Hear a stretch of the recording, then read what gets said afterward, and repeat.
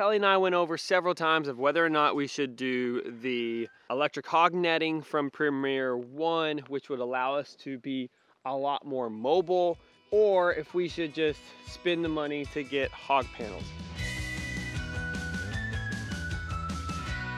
We have three pigs. But today we're gonna talk about several things. First, we're gonna meet the pigs and we're gonna go over the pig pen, the infrastructure that we have so far that we're holding them in temporarily, as well as electric fencing. And also we're going to talk about what we're planning on doing with these pigs and selling them. And you need to wait till the end because I'm gonna have a cool little freebie for you that you're not gonna wanna miss.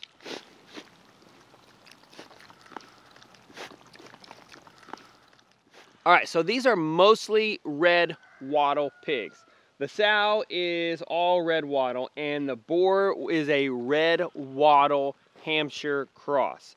Kelly and I learned at the Homesteaders of America conference, we learned it from uh, Farm. They said that some of the best pork it comes not from heritage breed pigs. It comes from mutts. Whenever you cross a couple of different breeds. It can be whenever you get really, really good, hearty, healthy, and yummy pork. So that's who they are. We have three of them. They are all male, and yes, we castrated them. I actually helped hold the pigs down. I didn't do the castration, but I want to show you some clips of whenever we first brought the pigs home and then we're gonna talk about the fencing, so don't go away. We're silent.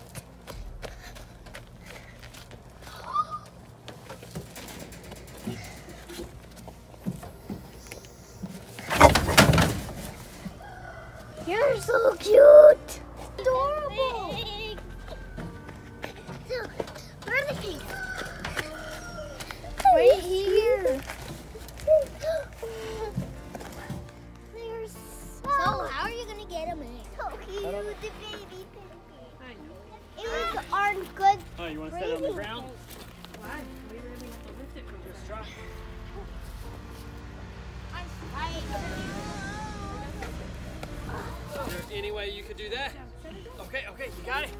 Job, baby. Great job. Ah, uh, There's two bowls. Uh, you can even give them an apple. There you go. Okay. okay. There go little pigs. They're gonna get zapped. Here, let me see the. Let me see. Kind of pig. No, this is perfect. Yes. They like it. they do.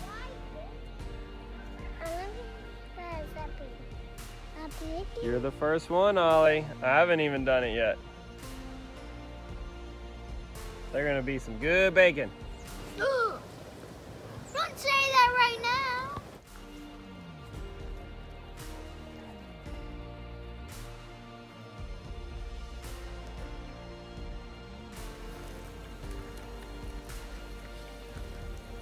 Good job, buddy. I never thought I could pet Shelvin the day I tried to. Good. Can I get out now? Okay, so one of the things that was stressful in the beginning, because I've never done it before, was where we're going to house these piglets. Kelly and I went over several times of whether or not we should do the electric hog netting from Premier One, which would allow us to be a lot more mobile, or if we should just spend the money to get hog panels. And the reason why we went this route to go hog panels first, which I'll show you the full tour of that, we called Premier One and, and we like Premier One. We have their chicken netting. So it's, it's a really, really good product. The one downside to Premier One, whenever you're starting off with pigs, is they also said, as well as Darby Simpson said this, is that their Premier One is not a physical barrier. It is a uh, mental barrier. It is a visual barrier. It it a it's a pain barrier is what they call it. The piglets and it, and we witnessed that when we first put them in here. Oh, there it was. Did they get shot? but you Oh, can't yeah. come in yet. They're just checking to see how far they can go. I saw piggies were pink. Some piggies are pink. Ow! Oh, that thing got loose. These hog panels, they really wanted to run away. They were scared. They would have just plowed through the hog netting. So you really need to have the investment in some hog panels, some uh, good quality T-posts first off so that you can train them. So you need a physical barrier on the outside and train them to an electric fence. And for us, it just wasn't worth it to purchase all this and then also go and purchase the hog netting. I think maybe one day we will want to try that. But right now what we're gonna be doing is we're just gonna stick with the hog panels and the electric polywire. All right, so let's now go over the pig pen. All right, so this pig pen is made out of heavy gauge hog panels, which are 16 feet long and about what is this like three feet high? I'm not really sure how high this is. But it is plenty for pigs. And what i have is i have one panel wide by two panels long. You as you can tell they've been here a week. This had a decent amount of grass in it and it is they're they're starting to root it up for sure. I think this is probably only going to last them for one more week and then we will have to uh, move them. Probably the only hard thing to do with these panels was doing the clips, the clips on these guys, because it's it gets so small down here, the where the panels get smaller for the piglets to, not get out, is getting these clips on the T-post. That was a pain in the butt. It was it was not fun. I would say that constructing this whole thing took me maybe three or four hours. Our plan, what to do with the pig pen, is we are going to invest the same amount of money a second time. So we'll construct the three sides over here. Then all I have to do is just remove one of the panels let the, and then start feeding the pigs over here. And then the pigs will just go over there. I can put the panel back. And then th- we can take this part of the pig pen up and then probably build it over here. Now you would say that's a lot of work and yes that is a lot of work when the the, the future plan is just using the electric polywire, which right now I'm gonna give you the tour of the electric because that was a learning curve for me. But now that I've done it, I love this. This thing is awesome. It is so cool, way more powerful. I got zapped with this thing. Holy cow, it hurt. We are used to using solar powered energizers with Premier One's electric uh, poultry netting. It's more expensive to get a solar powered energizer than to get uh, an AC plug in one. And the good thing, that's the reason why we wanted to go this route, was because we had electric right here. So here is our electric meter. So this is our meter pole, and this does all the power for our house. And my good friend John Michael helped me whenever we installed this. He put in a plug right here. Now the thing with an energizer uh, that's plugged in, you need a housing for it. You, it needs to be uh, usually in a barn or on a porch or something. You can't just leave it out in the elements. Also, you can't use an extension cord, what we've learned. So I got a little creative and looked at some ideas online, and this is what I've come up with. This is a normal bin. So this is a small bin from Walmart. This is a little storage bin. And what I did is I turned it on its side. And then what I did is I just drilled some screws into the bin to hold it onto the meter pole here and hung it up. So there's a, all, it's super duper simple. There's one screw here There's one screw at the top, and then I just took the Energizer and just hung it on there. This was a piece of cake, man. It was so easy to be able to do this. I, I, even just drilled some holes in here in case there's any kind of water that gets in there that I can get out at the top. This was very, very simple. I'm really happy with how it's come out. It is a DIY answer to doing electric if you want to be able to plug in and you can't think of a housing for it. Now, all of the electric fencing and hog panels, everything with the pigs was purchased at Tractor Supply. I'm not affiliated with them. So what you have, you have the ground, and this was super simple to be able to hook it up. This is insulated aluminum wire that attaches from the ground. And then there's just a little hole that I drilled right there. And then that wire comes down here. And then it goes into this grounding rod. Then for the fence, the red one goes down that same hole can you see that hole? So I just cut it with my hole saw and super simple. And then that insulated wire goes through the little forested area. Then it comes out the other side. I think this is about a 50 foot roll of uh, insulated wire. So now I know that I can buy more of this and it just works great and then it attaches to this cool little thing right here that turns it from the insulated wire into the poly.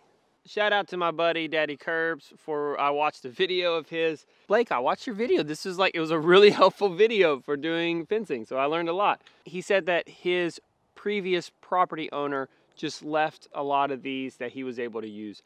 And I would have had no idea what this is, it allows you to cross over something like a fence or anything, or if you just need a tie-in for two different things. The electricity goes from the insulated wire to the poly. It goes all the way down there to where the Piggly Wigglies are. Try not to touch this because it all of this poly wire is super duper hot. It is. Electrified. What happened to you? Let me see your hands. What happened? I colored four on me. You colored a lot on you. Yeah, on me. My arms. What'd you eat? What's on your face? Um, chocolate. So this little electric fence charger from Premier One doesn't read this for some reason. I don't understand why. So our pig breeder came to do a site check for this just to kind of help us. And he said, here, just touch the poly wire to some metal.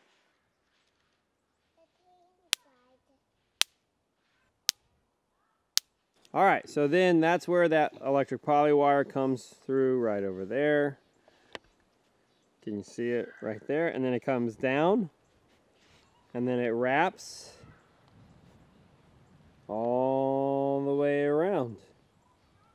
You're going to need more of these uh, little yellow insulators than you think you're going to need. So I so I bought one full bag and I should have gotten two because what I didn't know is that the poly wire over here wants the the panels want to bend.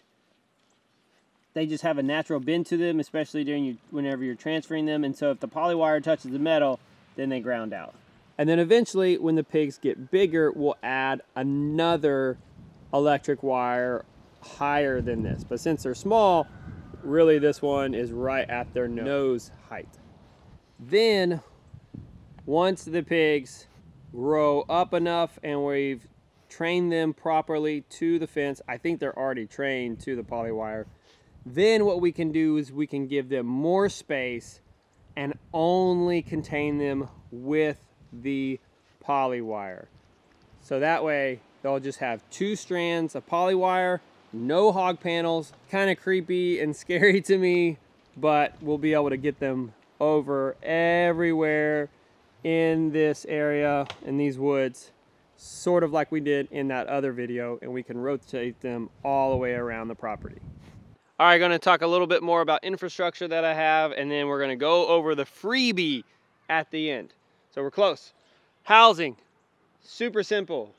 Four pallets with, I had some scrap roofing material for from the rabbit tractor. And it gives them a little bit of shade, put some bedding in there. Eventually I will come back and I'll put up something over here to give them some walls, but we're in Texas, so it's not all that cold. Uh, they definitely like the hay bedding, so I need to get some more hay. They're liking this. For feed, I'm just kind of, I'm just feeding them on this little mound because I want them to take this mound down and kind of level it a little bit. So they're rooting in this and it's doing the work that I wanted it to do. I think you can feed pigs on the ground. There's not poop over there. They poop kind of over on this side. So they're not eating their own poop, but they're also pigs. I'm not too worried about it. Then I got this uh, tray here for their water. This is not great. This is, they get it all muddy every single day. So pretty much every day or every other day, I have to dump it out and refill it. So it's a waste of water and it's a pain. I'm going to be purchasing a probably a 55 gallon drum. I already got the nipple and everything that I just need to do it. Just trying to find a good place to buy a food grade 55 gallon drum. If you know a place, let me know. I'd love to find out if you have a resource for those things because that would be helpful. Okay, freebie time.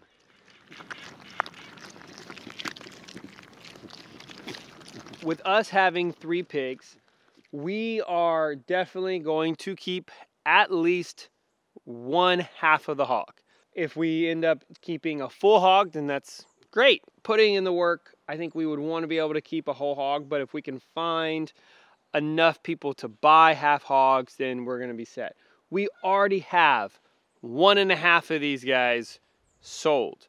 So we have already sold three half hogs. So that really leaves us only with another one and a half. Leads us to, for you guys, that if you're in local Texas and if you're interested in getting some pastured pork, so really our aim for this first round is to not make money. It is to break even with our infrastructure and our feed bill. That way everybody can get a really, really good deal for this first round of pastured pigs we get to do it again if we like it, then all of this is already paid for. Then we can start making just a little bit uh, of money off of raising pigs. Here, piggy, piggy, piggy, piggy, piggy, piggy. Which that leads me to the freebie. I posted a question over on the regenerative agriculture group over on Facebook about does anybody have a spreadsheet that shares kind of all the costs in terms of raising pigs on pasture. I worked up a spreadsheet on Excel and I just wanted to see if anybody had one already. Some guys on the Facebook group said, hey, if you don't, if nobody steps up and offers their spreadsheet, then you need to. Totally fair. So that's what I want to be able to give away is I want to give away our spreadsheet, our tracker for expenses and hogs. And I'll probably also throw in, it'll have a couple of little tabs for chickens and rabbits as well. I've given you some ideas that you can just plug some numbers in and that the total will work out. But really focusing on the pig, the pork, the hog raising to where that really breaks it down in terms of whole hog and half hog. Now, I don't know a lot about cuts. So if you want to add in the some cuts, into this spreadsheet and then send it back, then I can give it, I can update that for future use or I can just update the whole file that you can see here that you can always have an updated spreadsheet in the link. So I'll put a link down below so that you can get that spreadsheet so that you can track your expenses. What I've learned from Jack Spirko and Darby Simpson is that Excel never lies. Now on that spreadsheet you'll see that we're only in January so the February through June and July, which is when we're planning on harvesting these and sending them to the butcher, those are just projections. I will update this as we go with all of our expenses. every time I update it each month, I will send out an email and that you can get the updated, uh, correct spreadsheet with the numbers. I think this is going to be rad. This will be an ongoing thing that you can see and you can track exactly what we are spending on three hogs. Growing them, finishing them on pasture. The feed that we're gonna get is gonna be uh, Texas, the feed we're gonna be using is Texas Naturals. Non-GMO, no soy. It is the, Texas Naturals is the best here in Texas. It comes out of Waco. If you're not in Texas, then you need to find a good quality feed. Texas Naturals is expensive. It's like $25 per 50 pound bag. That's why we're gonna have to charge a really good amount because you are what you eat. You're eating pork and you need to have your piggies living off of good stuff. You gonna give them that apple core when you're done? I guess. They'll love it. Eat the whole thing, don't waste it.